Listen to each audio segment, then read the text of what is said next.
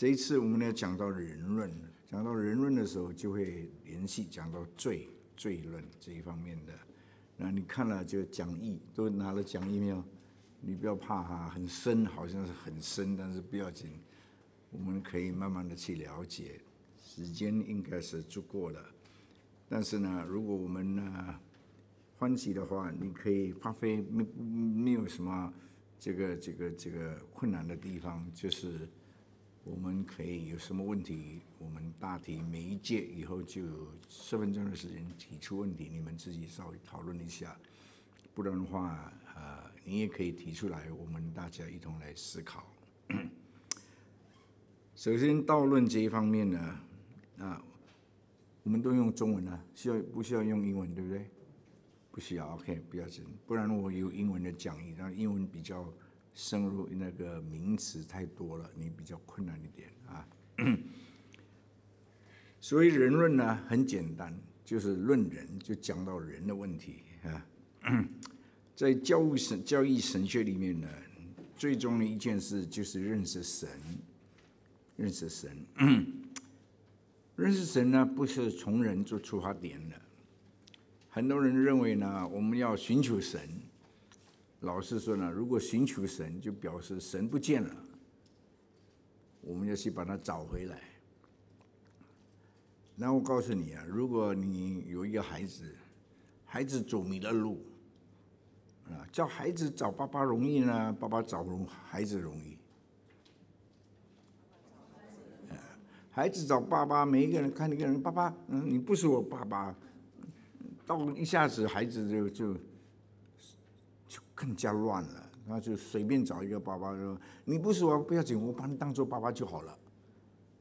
世界的宗教都是如此，人在寻找上帝，结果找不到，那么怎么办呢？已经尽了力量找不到了，就自欺自己欺骗自己。有时候也很容易给人欺骗，不要紧，我带你去找爸爸，带到那去，把他把他去卖掉了，你知道吧？中国早期的早期女孩子比较少这个情况，男孩子这个家人都告诉他，你特别小心，不要呢，不要跟他人家摸头。我小的时候最怕人家摸我的头，因为头一摸了就跟他晕了，就就给他骗走了，拿去卖了。你听过这个这种事情啊？因为那个时候呢，中国人就是重男轻女，那孩子呢迷路了，他需要人安慰他，他需要一个父亲，那很可怜，常常给人骗，不然就要骗自己。实实在来说呢，我们感谢上帝，虽然我们迷失了，但神来寻找我们。神寻找我们就容易了，他从上一看看到你在哪里，他来寻找你。只是可怜的地方呢，我们因为不认识他，所以呢，我们呢，他说我是你爸爸，我们对他说不见得，你给我什么啊？我们以为我们很聪明，你知道吗？那后来就变成有哪一边是娘，你听过这个东西吗？这个有的娘是好娘，有的坏娘，对不对？就一样的，最后还是我们自己欺骗自己。明知道他不是你妈，不是你爸，但是你没有别的，你还算算了，暂时把他当做爸爸好了。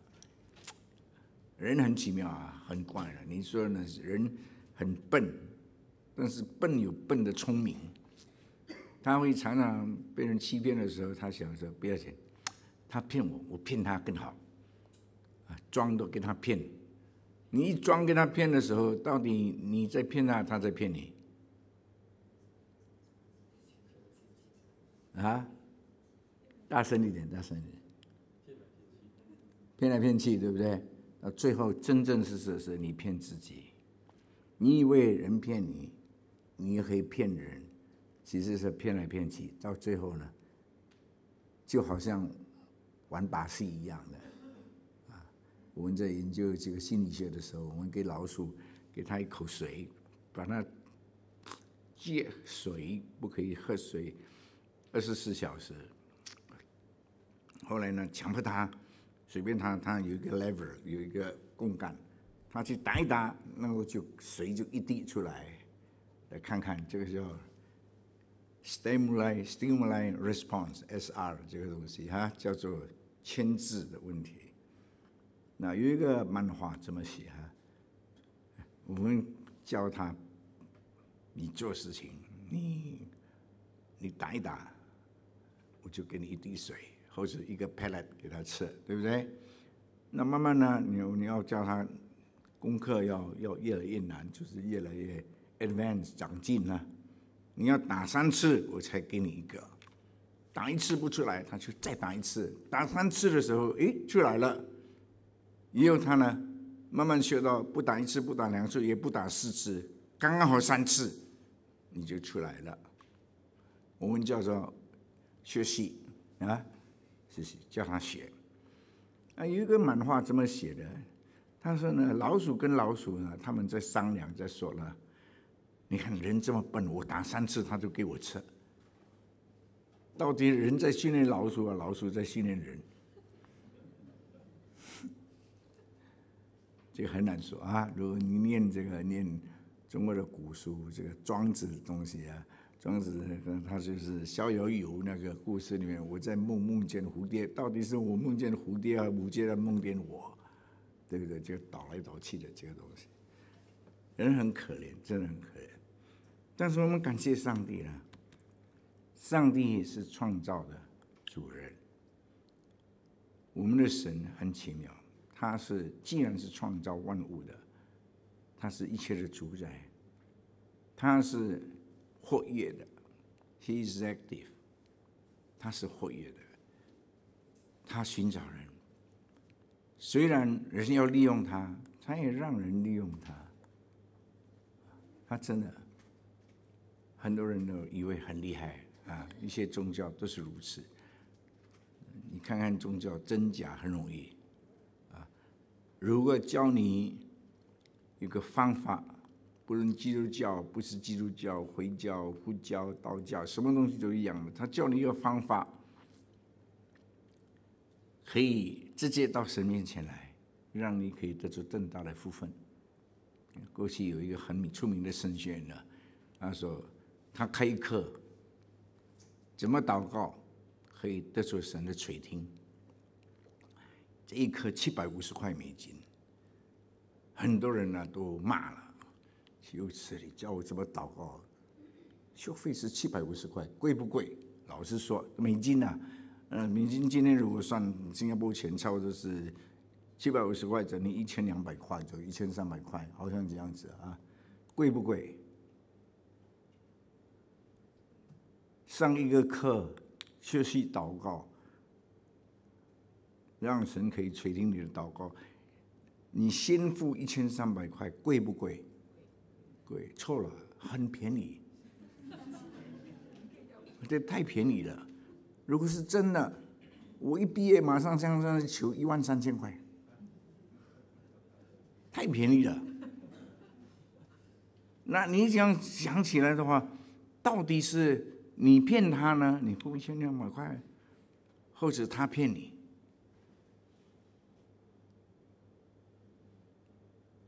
宗教很可怕，就在这里。到底是你故意给他骗？其实你故意给他骗，就是叫做你骗他啊！你拿了他的秘密，是不是？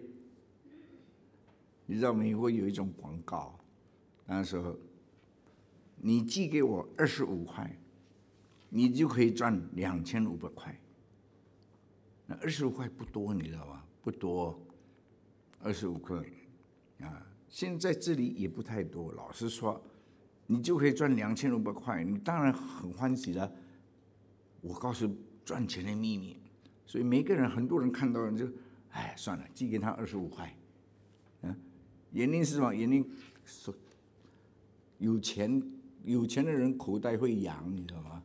心会扬，手会扬，所以这样就钱拿出来就二十五块，他就就告诉你个秘密，也只有一句话。你知道那一句话是什么？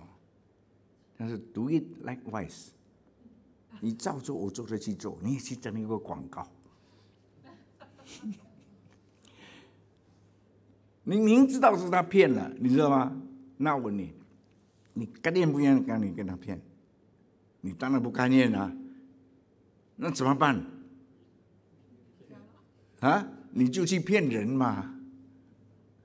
你知道背一个报纸也是登，你寄给我二十五块，你可以赚两千五百块。结果什么一来下去就一直下去，一直下去，一直下去了。到底谁在骗谁？老实说，就是自己骗自己，很可怕。人的问题就在这里。感谢上帝，不是我们寻找上帝，是神，上帝寻找我们。他不骗你。你看那个宗教呢，有没有欺骗的成分？人都很私心、很自私。等下我们会讲的罪的问题，就会讲这一方面的东西。有私心的时候呢，你就利用宗教；私心就要利用人，为自己的好处，就要想到自己。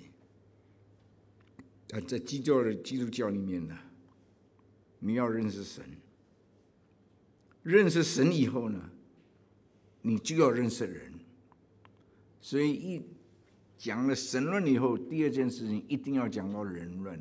一般是神论跟人论同一个学期教的，神论是前，人论是后。你不认识神，你绝对不认识人。你认识神以后，你就会认识人。所以加尔文说一句话很好，他说：“所有的知识啊，所有的认识论知识，就真正知识就有两件事，一个是关于神，另外一个是关于人。”你这两个抓得住了，你处理什么事事都可以了，都可以处理得到。神论跟人论啊，感谢上帝，我们这一次呢特别学了人论。我盼望呢，经过这个以后呢，你可以真正的认识人，当然认识自己，也认识跟你同为人的人。OK，也可以认识神的创造。如果你不认识自己呢？你认识了神，你不认识自己，你就死路一条。后者呢，你不想认识自己，你只想认识神，虽然不是死路一条，你觉得有活路了，我认识神了，结果你就想利用神，那也是死路一条。当你利用神的时候呢，神不跟人利用，神也不利用人。这个特别重要。如果你在教会里面，就是教会在利用你，那个教会你要快快离开，因为那不是真的真理在那个教会里面。神不利用人，神可以用人，但是不利用人，因为神已经他是自满的、自主的 （self-contained），他不需要人什么，但是他呢？愿意人与他同工，他愿意把他各样的福分给人。有人说：“ 嘿，神不能利用我，明明我利用神，一点都不是。”当你觉得你利用神的时候，好像是神给你利用，其实神呢是怜悯我们。你既然利用我，好了，你就用好了。到一段时间呢，你才会发现。结果呢？你真正的发现，是你自以为智慧、自以为聪明，你利用了神，你就运用的根本不是神，是你想象中间的神。那神也怜悯你，因为神不像人，他不报复，他有各样的恩典，他把你。牵回到他的用慈神的爱说，把你带回到他的真理里面。我们很感谢上帝。在传统的中间，对人论的研究可以三个角度来看。第一个，从哲学的角度或者哲学的范畴来看，就是 philosophical category。在哲学里面呢，哲学有一个 anthropology，就是研究人论的哲学。他要研究到底人本体里面，他真正的意义，本体不要听人家所说的什么，本体到底是什么？这些就用这个角度来看人，到底人他的本体本质到底是什么？What's make up a man？这个东西，到最后你会发觉没有答案。你就很多问题没有答案。昨天我说的，这些跟有些不同的问题就在这里，这些要懂得问问题。你不懂得问题问题呢，你永远找不到答案。那你懂得问题问题呢，你也找不到答案。但找到一件东西说，哲学教一个人呢骄傲，其实真正的哲学没有教人骄傲，就教人谦卑。你问问题问的很多的时候呢，我告诉你，做老师啊，最讨厌学生问问题，问的太多了，老师烦的要死，不能回答，所以很讨厌学生。其实呢，做老师，学生问问题啊，你讨厌要讨厌你自己，我们要好好准备，怎么办？那不要紧，你去买那个。十万个为什么？希望你可以回答，但里面也回答不了。真正的回答就是用问题回答问题。你了解，那是真正的哲学家就在这里。你问他，他问你，到最后你才哦呀，不要不要再问了，我明白了。第一，你假明白；第二，你真的明白了。我的女儿了。读大学的时候，她告诉我我要读医生医科。我说好，你就读医科嘛。过了一年以后，他变了啊。我从来我我也感知上帝，我是念心理学的，所以我不在乎。我知道他会念什么，大体我就知道了。知父啊，知你不如父，就是儿子不如母，好像讲啊。过了一年呢，他我不读医学了，我要读心理学，跟你一样。说好，你就读心理学。再过一年，第三年，他说：“我现在决定了，我要读哲学。” 我说：“好，你为什么要做这些？”当时老师告诉你啊，我在初中、在高中的时候，你没有送我去补习，我我没有从孩子，我从来不给他补习的，你知道吗？那我的问题一大堆，然后问你，你从来不给我解答。那个时候我是讨厌的要死，你都问问题问到我烦了。我说我懂了，那他也会回答了，会答微积分，这个这个这个几何、物理啊、化学，有问题他在问爸爸。我跟你说，特别注意，你做父母亲的要注意。孩子问问题，你不用骂他。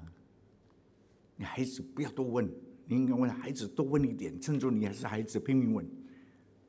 到了你做大人不好意思问，对不对？趁着孩子拼命问。我没有回答，我就他问了我就回答，用问题回答他。后来他就说：“我懂了。”那他做作业的时候呢？那些老师都奇怪你，这个这个这个孩子他会回答。我想他一定有问题的，他还会回答这个问题。问他：“你怎么来的？”他说：“爸爸，我问爸爸，爸爸问我问题。后来我自己懂了。每一个科目都是如此，有很多科目我根本没有读过的，微积分我没有读过，物理啊什么有一些都没有读过的，我就懂得问问题。他一问问题，我就知道怎么问问题。”后来呢，他老师告诉问他：“那你爸爸是做什么？他是做医生，做是做心理医生，做牧师，做什么？到底他最重要读什么？他是读哲学的。他才懂了哦，原来如此。后来到大学第三年的时候，他才知道一件事情：应该读哲学。读了哲学呢，没有答案，很多问题。问题一多了，答案就在问题里头。你听了吧？最后他他本科最后是读哲学，读了哲学呢，他他想说再读什么？我说随便你。他说我还是去读法律。他最后是啊，二十三岁、二十四岁就法学博士了。他读完法学，从小他也会问了为什么？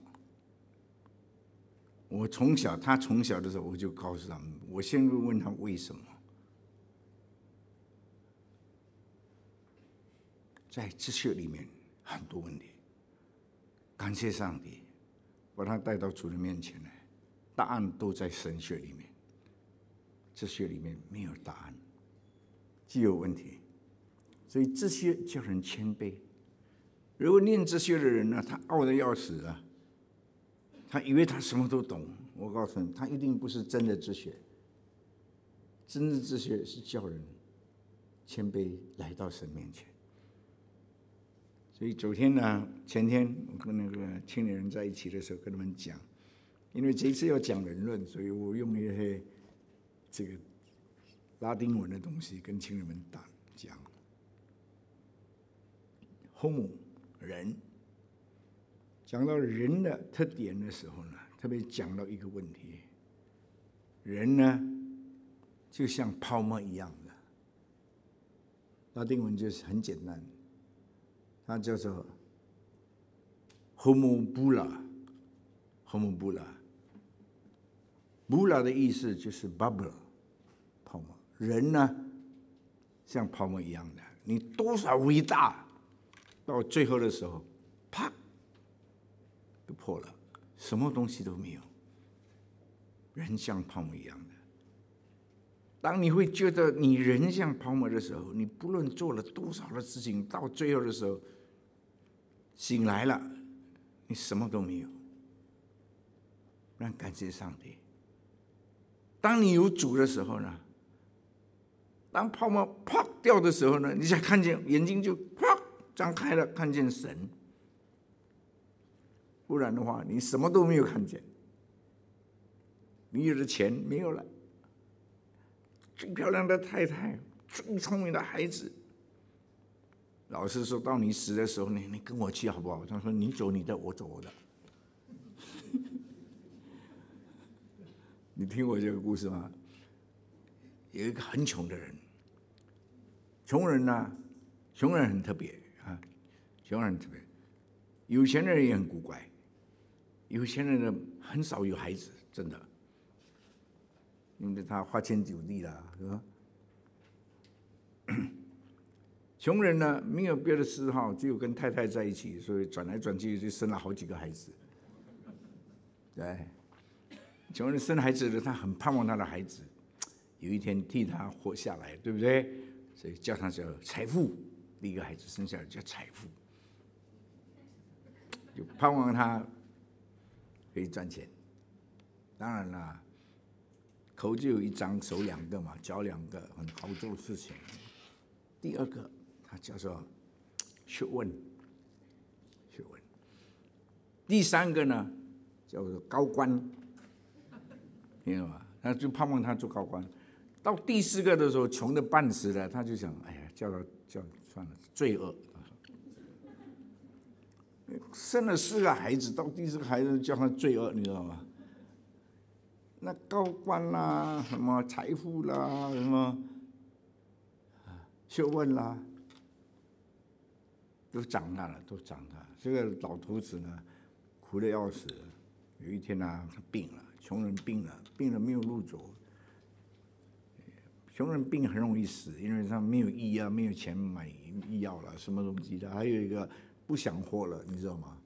所以他快要死了，他就叫孩子来，然后孩子孩子你来了。第一个孩子来了，阿富阿富阿富来了，财富嘛来了。那我要死了，你跟我走好不好？这个阿富说不行，我还没有富有，我还没有享受，我不跟你走呢。他说好在有四个孩子，就叫第二个秀问，秀问秀问你来。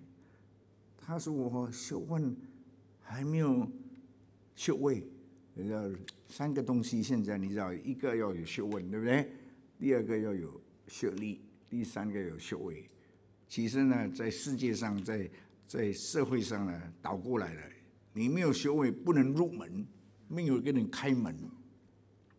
所以一定要修位，好不好？不管他，是哪一个修位再说啊。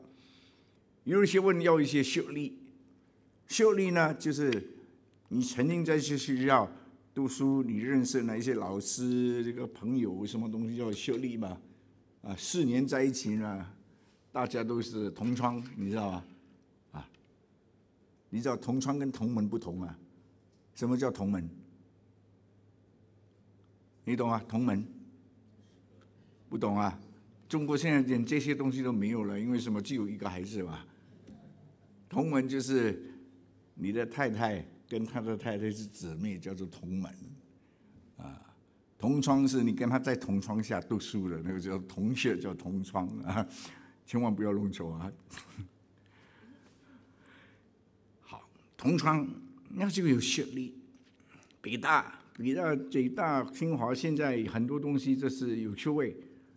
没有学历，在学术界还没有过，不过不过这个这个这个这个荷兰人叫不干，不过不过名堂，一定要有学历啊！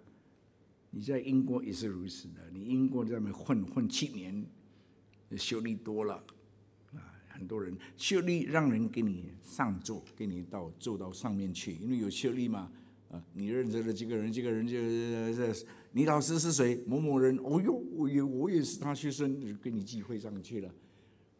所以修位让开门，给你开门；修历给你登堂，听到吧？那修问呢？给你作文。那你登堂以后怎么讲话？讲不出来，没有内容，最多给你一次。听到吧？你真的要有学问，真才实料就有三个都有。你有学问，你没有学问麻烦，连进门都不能进门。你是谁？听懂吗？而你有学位，但是没有学历，也没有人带你上堂嘛？跟不会跟你谈，给你机会讲三样东西。所以这个学问呢，有就孩子的学问，你跟我走好不好？的，你要死了不去。我有学位还没有学历，有学历还没有学问。啊有了学问呢，以后我还要名誉啊，什么东西？我不跟你走。他想没有办法，就叫阿官阿官做官的啊，官委。但是我做的不过不过痛快，我还有很多日子要做的。你要做官呢，不要做小官呐，你要做要做大官，做小官呢，天天怄气。还有替人替那个大官去去赴死，你知道吧？嗯，你要做到大官，他没有做大官，不跟你去，他气得要死的。三个孩子，财富这个什么学问，官都不肯跟着我去。他说：“最后最后你来。”他刚刚说：“最后你来，还没有讲你来呢。”最后说：“来来，我跟你去。”后来他就说了一句话，这是一个结语，你知道吗？但是当我要死的时候了，财富不跟，学问不跟，关键也不跟，我唯独最后偏偏要跟。你听到没有？世界就是如此。到有一天你要走的时候，一切东西都拔宝了，就是最后就在那边，我跟你走。你不要他也摆不住了。人真是一个爸爸，很可怜。从这些这一方面来看，人的本体就是这一种的情况。第二种呢，从神学的范畴，是从神的启示的真理来讲到人伦。啊，这两天我们就从这个范畴来讲，现在我不多讲。第三个呢是近代，特别是现代的，它是从人类学、从心理学、从人类文化学跟社会学这个范畴 category，也就是从现象的实体，不是本体，从实体，很现实的，来看到人，人好看不好看不重要，最重要是什么呢？最重要，他在人跟人之间给别人、给人类还是给国家有什么贡献？不知道为什么哈，很有学问的人都很难看，特别女孩子，越有学问越难看。很少很有学问的很美。中国人有一句话说呢，女孩子特别美，特别美的很奇怪，都没有头脑。因为她有头脑，她就没有时间去化妆，你知道吗？他没有时间去欣赏自己。女孩子伟大的地方就应当欣赏自己，哎，难得啦！每一个女孩子都天天要看镜子，对不对？男孩子看镜子就炸瓜了。女孩子看镜子很奇怪的，你越看镜子的，看那些美丽的，越来自己也越美丽了。很多男孩子啊，很有学问，女孩子很有学问，就没有时间打妆，没有时间看镜子，那他哪里会美？不会化妆自己。那从现象来看，从社会学这一方面来看，到底一个人好在哪里？我昨天课没讲到一个价一个这，对不对？到底价重要这重要？啊，当然是这重要。但是这个时候在社会里面，这一点重要都不重都没有用，这一点都没有用。价最重要，价是焊出来的。有一个有一个就是在印度，印度呢老师叫耍米或者咕噜咕噜，中国叫高师啊，有一种，有 一个他的弟子，他叫一个弟子说：“这一块这块石头你拿去卖。”弟子说：“哎呀，老师，这个石头哪里可以卖？这个卖什么价钱？”他说：“你不要多说话，你去卖。”去了再说，他就去卖了。回来他告诉老师：“老师，老师，这个石头两块钱，没有人要。两块钱没有人啊！明天你再去，你再去，你开个价，两千块，开价两千块。他说：老师，两块都没有人买啊。”开价两千块，他说你就去就是了。但是呢，你不卖，听懂吗？开价两千块，宝石一块，两千块放在这里，人家哎，两千块这么贵，我根本不想卖。你看为什么不卖？你不知道吗？那个人到底知道不知道？看到的是两千块吗？他不卖，算了算了算了，到底什么秘密？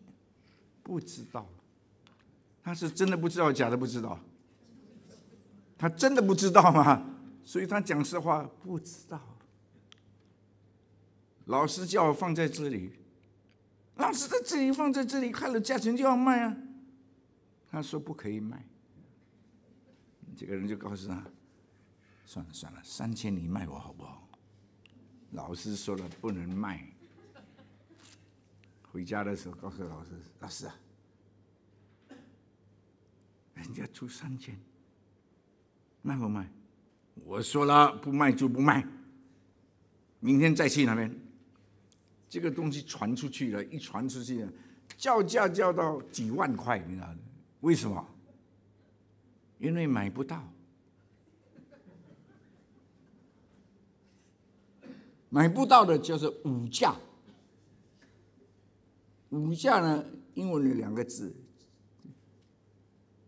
啊，五价是 priceless，另外一只是 worthless，听懂吗？五价就没有价钱呢，不值钱的，就是 worthless 啊。但是因为 worthless 又不肯卖，变成 priceless。那大家就这样骗来骗去了，就是这样的。人很可怕，就在这个地方。从社会学从人类学，从人类文化学。我们刚我刚刚去这一次是是文化之旅，真的是我是故意走南南亚啊，South Asia 南亚，是从西朗这边跑上来。西朗是从那不尔印度西朗，西朗是最年轻的一个，从那边看来上来，什么东西都是多少年多少年了，一到尼泊尔都是几千年了，对不对？什么东西都是。在目前这个时代里面呢，越老就是越值钱。老我们叫古董，对不对？古董英文叫什么？啊，antique。啊，有两个东西很怪的，antique 的东西呢，就是特别贵，因为不能重复的，不能重复的。那 antique 跟 classic 不同。你叫 antique music，没有人要听。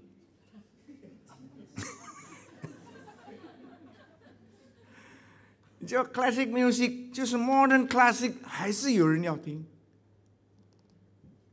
classic 的东西永远不死的，antique 的东西还活着就没有不是 antique 了。你听我意思吗？它越老越好，为什么？因为人命太短。所以它珍惜长命的东西，长远的东西。其实 antique 呢是价不整，那这是人焊出来的。当然了，你千万不要听了这句话，你就说哇，我家里一大堆 antique，把它卖掉了。你要卖也可以了，但是不要不要因为我讲了你卖，我不负责任。我哥哥从容啊。从一 classic man，他也是 antique man，他很多 antique。有一次呢，他在新加坡那一次过去，我来住着跟他住在一起一天，我回去找他。他住的那个地方呢，很多 antique。我一看呢，哎呀，这些糙米，我说烂的。他说你不懂。他跟我讲什么东西，我这不懂装懂，听听听哦，不好意思，他我哥哥嘛，听听听。好，有一次我在国的时候，有一个老头子，他去买了一块钱去买了一个碗，一个碗，他认为他懂得这个这个这个古董的，他是无锡人。无锡、上海，上海就是古玩最出名，就是上海，对不对？为什么？很有钱，就有钱就会玩这些东西。那个？哪一天呢？他告诉我，我买了一个当时他跟我很好，我们我我我五十岁开始念国学，所以跟这个老老老前辈都可以谈得来，无语啦、诗啊、词啊，什么东西，他跟我很好，他。他现在已经该走了，走的时候一百多岁，到老的时候他开始昏迷啦，什么东西，但还没有那个，还是八十几岁、九十岁的时候买到一个东西，一块钱美金他买了，他说这个是安定，我一看，我不懂了，那我看了有一点懂了，最基本的常识，这个安定外面裂开的裂的，你知道裂了。后来看里面没有裂，我告诉你，如果一个碗呐，外面裂的，里面没有裂，那是什么意思？最简单的一个常识，那叫什么？外面的裂是真裂还是假裂？一定假裂是画的，你听好了，这是一般常识嘛。那我呢？班门弄斧，我真的班门弄斧。哎呀，这个假的，你买一块钱，哎呦，你怎么知道假的？我说外面裂开，你看裂，里面没有裂，这个一定是假的嘛？哪有一个瓷器外面裂，里面不裂的？外面是画的。他听我这么说以后，他就觉得，对呀，你懂。其实我不懂，你懂。我真的是不懂，但是我就是一点常识而已，懂了一点常识，你知道吗？那哪一天呢？见到从容呢？我说这个都是假的。我告诉你一件事情啊，那我我教会里面有一个人买了一块钱，欢喜的不得了，啊，是古董买的宝贝的不得了。给我一看，外面裂，里面不裂的，当然是假的。从容跟我说：“你洗脚了。”唐朝有一个时代，他的。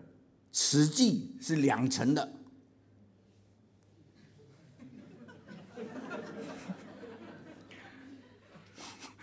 说你说什么？你乱讲！就你不相信？他把书拿出来给我看，真的。我一听了那个吓得半死，糟糕了！我跟那个老头子讲了，好在他死了。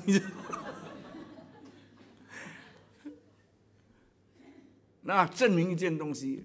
真的是我不懂，对不对？我讲了我不懂的东西，他听了，他相信，这个是谁不懂？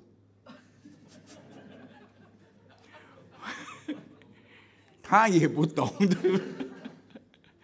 到底真的是怎么样？没有人知道。后来这个东西哪里去，我也不知道。我找他你去，你那个时候那个那个你爸爸那个你那个岳父买的一个东西一块钱那个哪里去？他说谁知道，早丢掉了。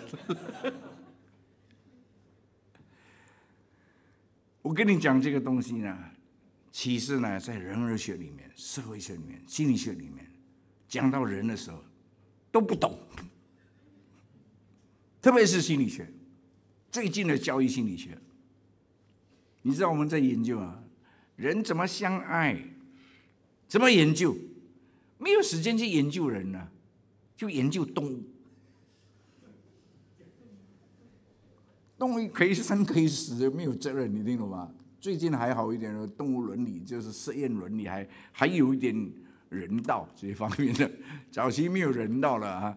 把动物嘛，把它关在一起，后来男的女的把它放在一起，看看哇，原来动物是怎么谈恋爱的，就告诉人，人啊就要怎么谈恋爱，就学动物，你知道吧？老师说都不懂，结果我们跟他教了，听了，哎呀，应该这样子，那本来我们懂的变成不懂了，所以不能从不能从这些来看，不能从。当代的人类学、心理学、社会学啊，人类文化学讲的这些都没有真理，都是一些相对性的东西。我们要知道人是什么，只能够从神学来看。这一方面你永远要记得，我们特别感谢上帝。神学是什么？不是我们寻找上帝。也不是研究上帝，神学是研究上帝的启示。那第一堂我们就讲到这里，啊，你可以问问题，不然的话我问问题，你们去讨论，有十分钟的时间，刚好是十一点，对不对？对，十一点。呃，十点，十点，对了，十点我们到哦，十点二十分要到十点，哦，还在二十分还可以讲。导论里面呢，给我们一个要点要诀，就是告诉我们一件事情：人呢，对自己都是模模糊糊的，都模糊。只要你肯承模承认自己是模糊的，还有希望。最怕是，你听来听去，告诉你要怎么做人。要怎么奋斗？你听了很有理由，你根本没有没有那个本事去判断有没有理由，你就说很有理由，结果有没有理由？有啊，是他的理由，你把它变成你的理由，就全部都模糊了。我们特别感谢上帝，上帝把自自己启示给人。神的启示是一切知识的根基，它是一切的根基，知识的根基，foundation of epistemology。认识论的根基是神的启示。所以呢，讲到最后，我们是回到圣经神的启示里面去了解了。希望我们这一次可以更深刻的了解人、人的作为、人的本分、人的本质。在这种情况里面呢，让我们可以用正确的心态来看自己。来看世界，来看神的创造，这一种人呢就特别幸福，好吧？这个就是导论里面所说的。好，接下来呢，我们讲一点第一段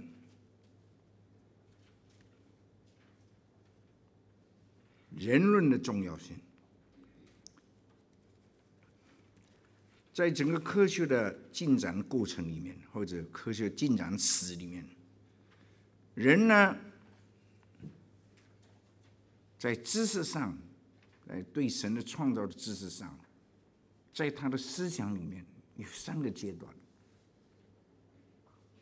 他开始呢，以地球为中心来认识人，因为我们住在地球里面，很现实的，地球为中心。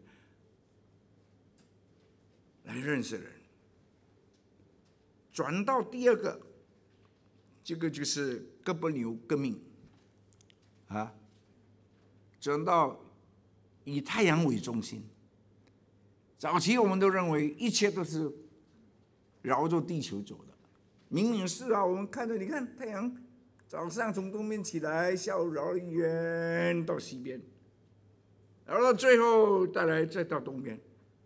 什么东西绕着地球转的嘛？我们看得很清楚，这个证明就是物证、物证自己看见见证嘛。到哥布林的哥布林以后呢，才是以地球为中心。第一个是多雷米啊，P T O L I L L R E 雷米 M Y 哈，这个是埃及的。到哥布尼的时候呢，他已经是以太阳为中心的。后来才知道，不是不是太阳绕着地球，是地球绕着太阳。啊，一直到这个启蒙时代以后，启蒙时期叫做是杰西这个 Renaissance。就是文艺复兴，接下去的就是启蒙时期，就转到以人为中心的认识论，用人来决定一切。因为我们发现一些东西以人为中心的，在这个过程里面呢，老实说，你懂得这一方面的时候，你就发现整个伦理学也好，特别是宗教界的，你知道吗？宗教经过很多很多的过程，到最后这段时间里面呢，我们都叫做后现代。后现代的宗教呢，最影响人的，你是从可以从苏联的，苏联从非常正确的，我们叫做新正统啊正统，这个这个这个叫做。Orthodox 就是正统神学，就是希腊正统神学，转到无神论了，OK，无神论。那从无神论以后呢，现在就变成有神论，但是他的有神论，我们叫做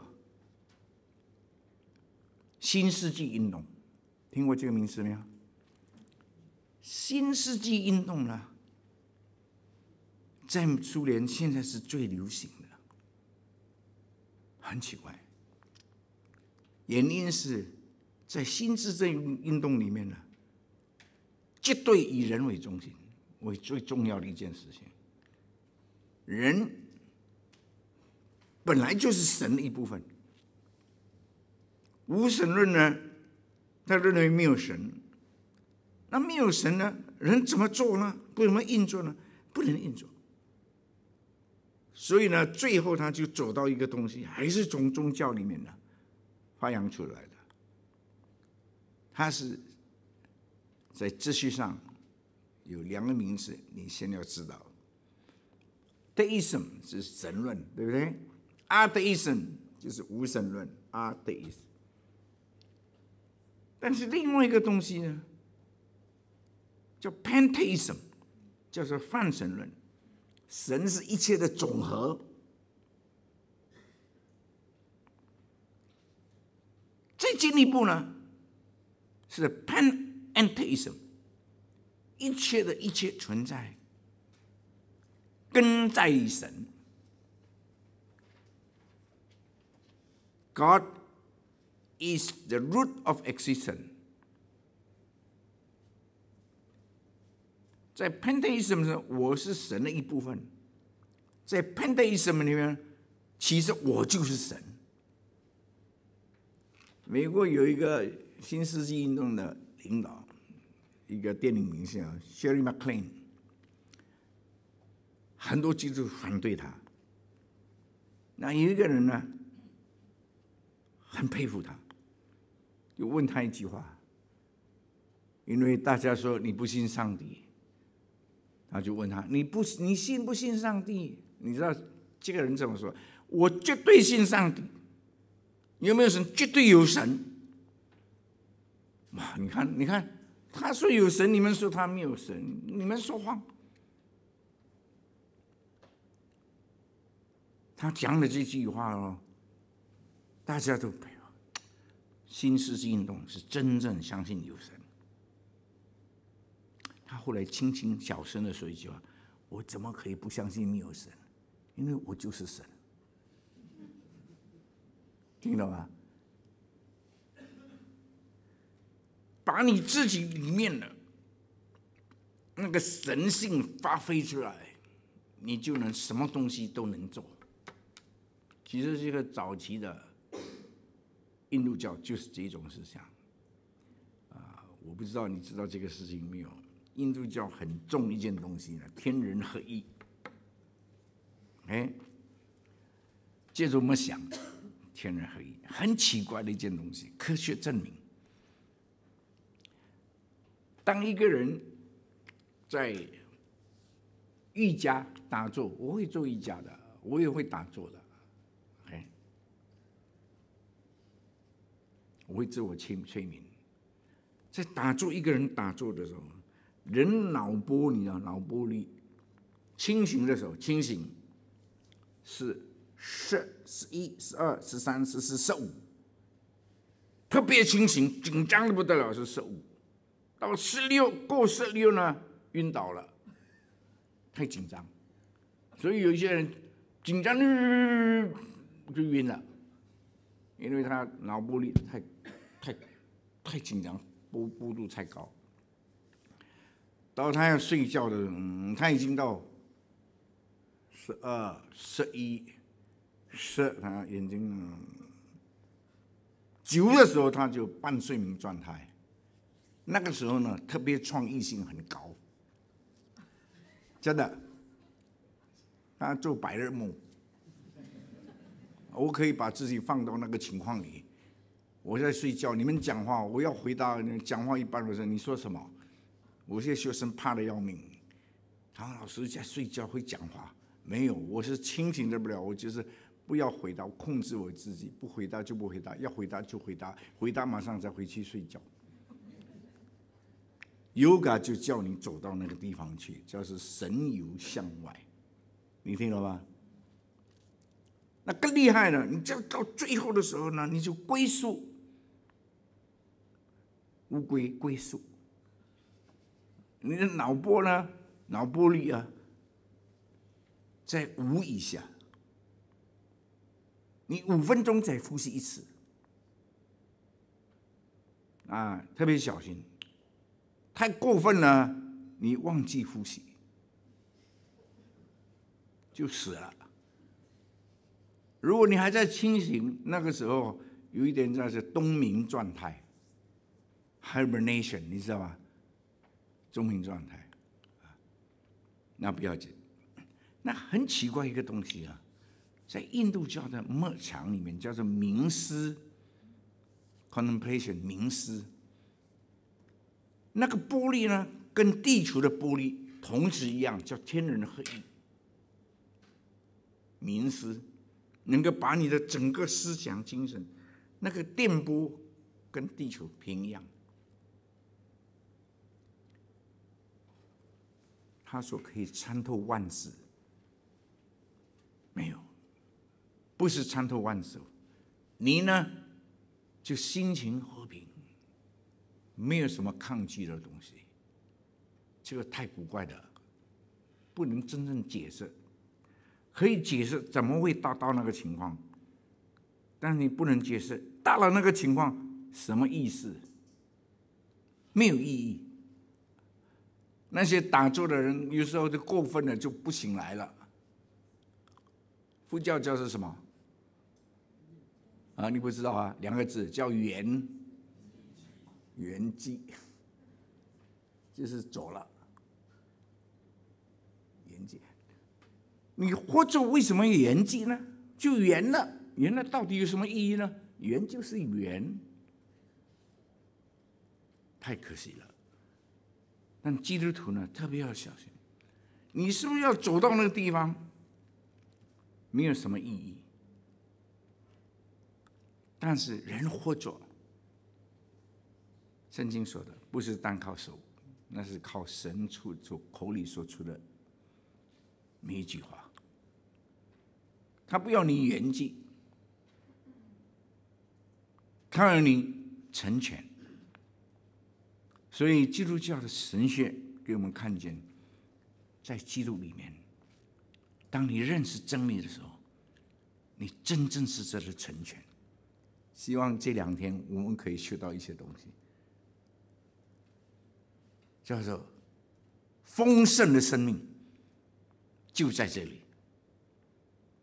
很多人的寻求丰盛，但是原寂、原寂性的丰盛没有意义。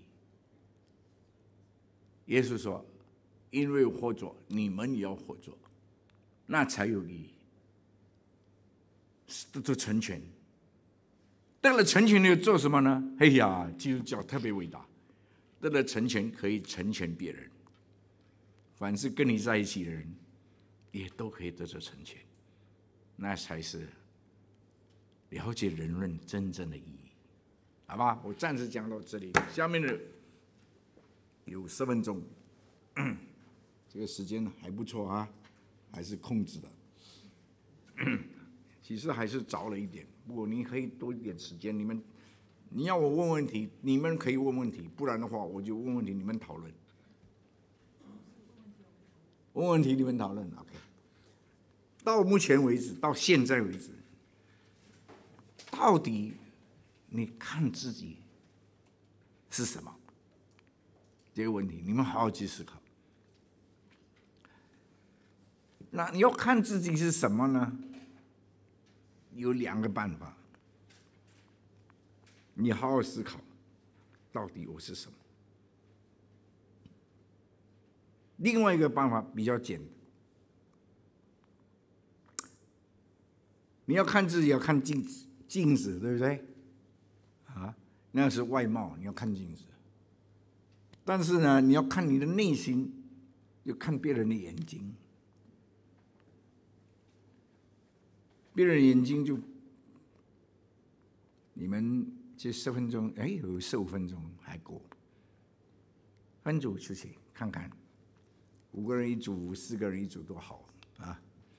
我们就报数一二三四啊，一二三，一二三四，我们这里嗯，一二三不行，一二三四五六七，七组，啊，六组。四组，那四组就要五六八个人一组了，四八三不要五个人呃，四个人一组了，这个星期。五组，五组啊，啊，开始报数，一二三四五，快，一、三，啊。英文的不报，英文的不要报。英文的不报，英文的自报，是英文自己一组。OK，那我告诉你要做什么啊？两个办法，一个是讲你自己是什么，OK，另外一个办法就是让别人讲你是什么。随便你找一个办法，认识，不要讲说，哎呀，你叫什么我都知道，不是这个东西。到底，What are you worth？你有什么价值？在社会上，最简单，第一个，在家里；第二个，在社会上，社会包括在国家；最后一个，在教会里，人看你，你看那个对方，你看我，我是什么意义？你的存在意义，what you meaning of your existence？好吧，好，现在分组出去了，快快出去，好。